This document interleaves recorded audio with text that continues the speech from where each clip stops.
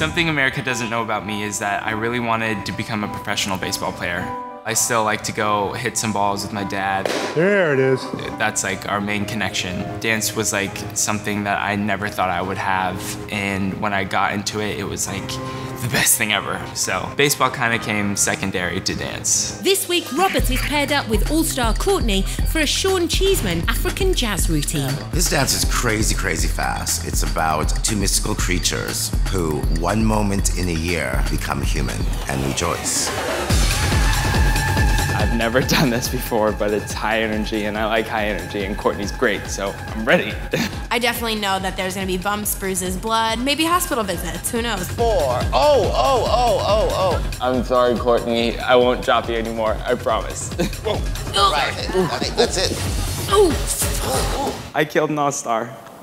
Oh God. Let's hope she's alive tonight, dancing with all star Courtney. Ladies and gentlemen, it's Robert.